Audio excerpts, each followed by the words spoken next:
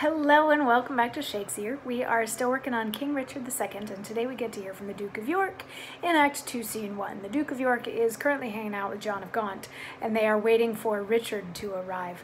Uh, just real quick, the stuff that happened in, in Act 1, just in case you missed it, Henry Bolingbroke and Thomas Mowbray nearly came to dueling but they didn't get to. King Richard stopped it.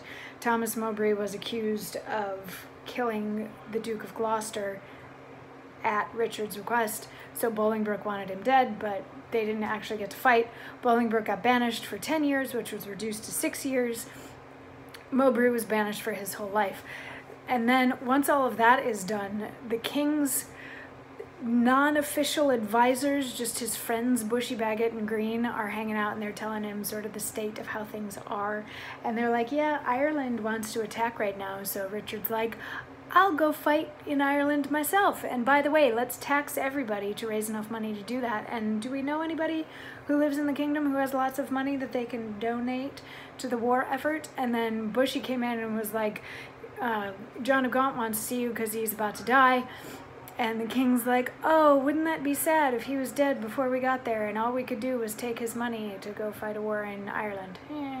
So now here we are in Act 2, Scene 1, where we are at John of, Ga John of Gaunt's place and he's hanging out with the Duke of York and they're waiting for Richard to arrive. And yesterday we had John of Gaunt saying that maybe now that he's about to die, maybe now Richard will listen to what he has to say because we don't really listen to people until it's like the very last minute or potentially too late.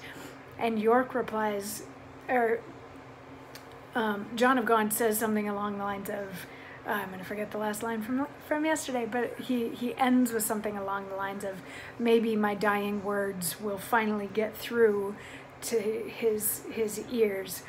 And York says, no, it is stopped with other flattering sounds, as praises of his state. Then there are sound, lascivious meters, to whose venom sound the open ear of youth doth always listen. Report of fashions in proud Italy, whose manners still our tardy apish nation limps after in base imitation. Where doth the world thrust forth a vanity, so it be new, there's no respect how vile, that is not quickly buzzed into his ears, that all too late comes counsel to be heard, where will doth mutiny with wit's regard.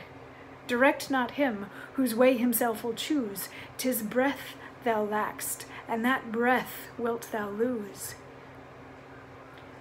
So what York is saying is, no, Richard's not going to listen to you, kind of regardless. He's, he's too busy keeping up with gossip and hearing the latest fashions from Italy and and as long as there's a rumor it doesn't matter what it is as long as it's new the king's gonna listen to it. So save your breath because you're old and you're about to die and that's all you have left is your breath. But of course John of Gaunt isn't just gonna let that sit. He's got a nice lengthy response which we will get to hear tomorrow I'll see you then Mwah.